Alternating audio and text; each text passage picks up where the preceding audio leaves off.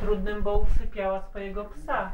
No, 14-letniego. No, I tak maleńka mi mówi, że może by pani sobie wzięła tego Koteczka, kota. niuniu, tak. On tak się prezentował, bo on był... się tak zaprezentował, że ja mówię, Boże, to może ja go wezmę. Cześć kochani mój, czarniczku mój, kochany słoneczku mój. Mój loloniu mój. A pani miała kiedyś kotki? Miała Ja pani? miałam kiedyś popiołka.